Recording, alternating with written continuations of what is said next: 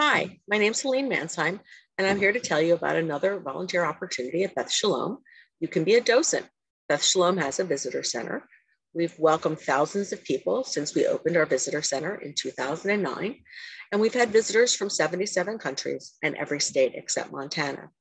Visitors will come and they'll see a 20 minute movie about the making of our building, narrated by Leonard Nimoy, and have a one hour guided tour of our building.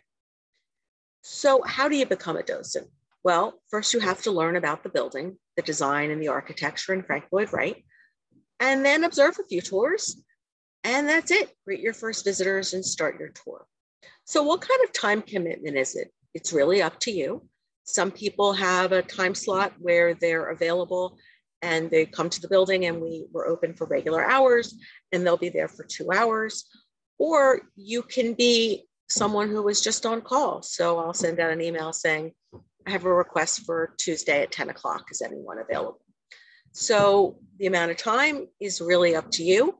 And I encourage you to consider it. And I encourage everyone in the congregation to come and take a tour. I think it really helps you to appreciate our building if you get to learn a little bit about it. And if you don't want to stop by for a tour or you have some free time on your hands, take a look at our virtual tours on our website and get an idea as to why people from all over the world have come to see our building. And hopefully I've intrigued some of you enough that you're interested in learning about the building and becoming a docent. And hopefully I'll have a chance to meet you soon. Thank you. Goodbye.